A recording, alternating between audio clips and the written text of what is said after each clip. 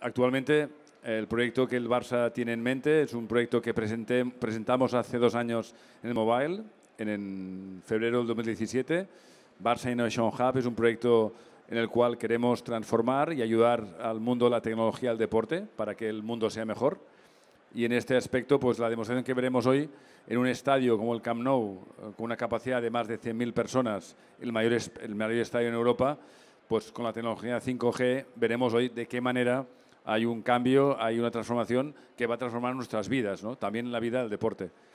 Seguimos trabajando mucho en, la búsqueda de la excelencia también en la tecnología y la innovación.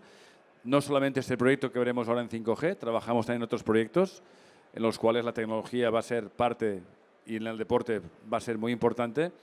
Y es una manera de que el Barça, bueno, intentamos devolver a la sociedad de esta manera y ayudando pues, a Telefónica en este caso, trabajando conjuntamente y también pues, con, con Mobile World Congress intentando enseñaros todo lo que estamos uh, haciendo y que sobre todo signifique un cambio en, el deporte. Para eso el Barça pues uh, estamos decididos a, a seguir apoyando, a seguir invirtiendo y habrá más novedades, más novedades que iremos presentando a lo largo, no de estos días, de largo del año y que espero que el próximo año en el mobile pues, podamos también enseñarlo a todos vosotros. ¿El primer estadio 5G de Europa? ¿eh? Sí, el primer estadio 5G.